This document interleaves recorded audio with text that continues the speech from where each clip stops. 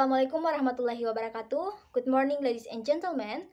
First of all, I would like to say thank you to Allah Subhanahu wa Ta'ala for His blessing, so we can join in this activity with a good health. On behalf of my organization, Children of Heaven, I also say thank you to Mr. Sky, Margajaya Village Head, to help us in many ways, and all of the guests who attend in our event today. On this occasion, I will talk about our event and organization. Our organization, Children of Heaven, has been holding the teaching activity Studying is Fun for five years. Margajaya Village is 20 destination for studying is fun.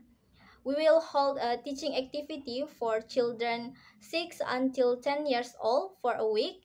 And for the closing in the last week, we will hold a small festival.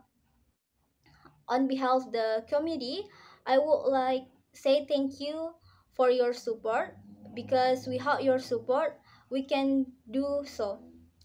And I hope this event can give uh, all of the children a good benefit. That's all for me.